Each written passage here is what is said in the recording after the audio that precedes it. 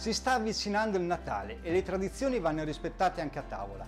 Ogni regione italiana ha i suoi piatti tipici delle feste natalizie. Qual è il menù tradizionale della tua regione? Io oggi ti voglio proporre un primo piatto tradizionale delle Marche, più precisamente di Urbino. Ciao! Bentornato su Segreti da Chef. Io sono Gianluca, executive chef e tuo personale aiuto per realizzare piatti speciali. Oggi voglio svelarti la ricetta dei cappelletti come li facciamo a Urbino, con il ripieno di carne. E lo hai capito che questo fantastico segreto te lo sto offrendo completamente gratis? Ora, se anche tu vuoi farmi un bel regalo di Natale, pollice in su, condividi con i tuoi amici e iscrizione al canale con tanto di campanellina. E visto che ci sei, fai anche un giro su Instagram, Argento Chef, e seguimi pure lì. I cappelletti sono un piatto natalizio d'obbligo in tutta la Romagna e nella provincia di Pesaro Urbino Esistono differenti ricette tradizionali, ma tutte concordano sulla cottura in brodo. Quella che ti voglio insegnare oggi è appunto quella dei cappelletti della provincia di Pesaro Urbino, che prevede un ripieno con tre diversi tipi di carni, il maiale, il vitello e il tacchino. La prima traccia scritta certa è quella della ricetta reggiana che risale attorno al 1200, in uso forse anche presso i Lombardi Gonzaga, nella quale si prevedeva l'uso della carne di manzo o vitello e non di maiale come oggigiorno tritto di rosmarino ed aglio, burro, cipolla, l'equivalente dell'epoca del parmigiano reggiano, farina e uova.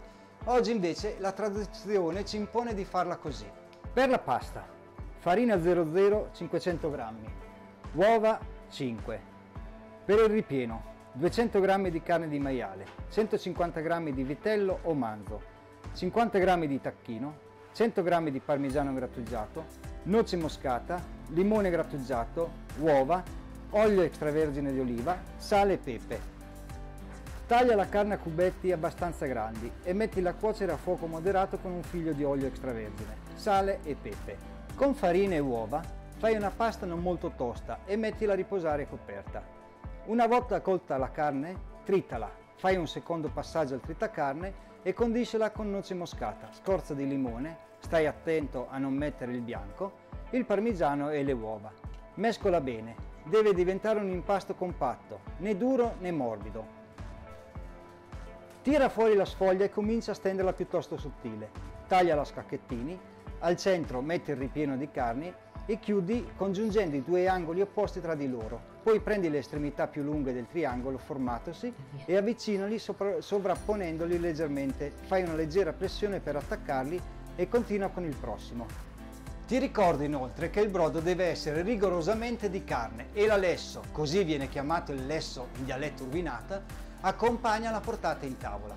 Niente di più buono che un bel piatto di cappelletti in brodo da mangiare in famiglia riscaldati dal clima natalizio. E poi dimmi, senza cappelletti che Natale sarebbe? Fammi sapere nei commenti qui sotto se li hai realizzati e come ti sono venuti. Mandami anche le tue foto nella chat di Instagram così che le posso pubblicare nella community del canale. Dire non so cucinare ora non potrà più essere una scusa. Piatti chiari e amicizia lunga. Ciao!